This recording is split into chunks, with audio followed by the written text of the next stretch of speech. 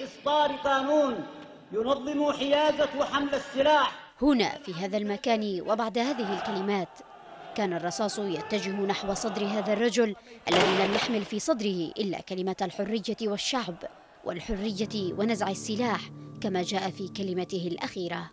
كان خطابه الأخير بمثابة وصية تضمنت رؤية لمشروع دولة مدنية تمتلك فيها الدولة حق احتكار السلاح.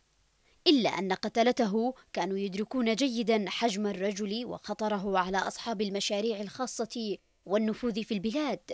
فنزع السلاح لا يزال عقدة الحل لكل مشاكل اليمنيين.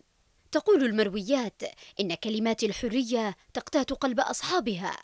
كما هو حال قلب جار الله عمر الذي هتف بعبارته الخالدة وطن أو لا وطن عندما كان يدرك أن الوطن الكبير الذي تشكل في الثاني والعشرين من مايو بدأ يتسرب من بين أصابع اليمنيين وتحول إلى لا وطن.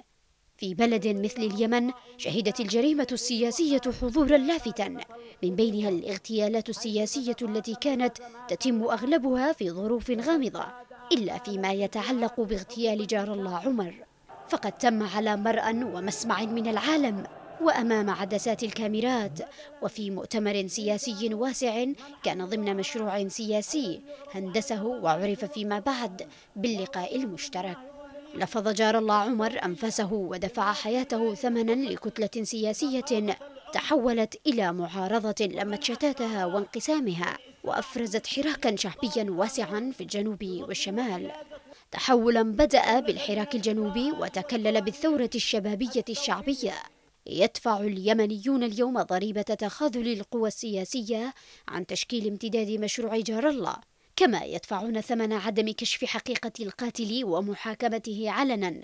تماما كما حصلت الحادثة علنا وأمام شاشات التلفزة. لا يزال قتلة الشهيد جار الله عمر يمارسون ذات المهنة القاتلة والمدمرة في حق شعب آمن بالحرية وتاق للخلاص.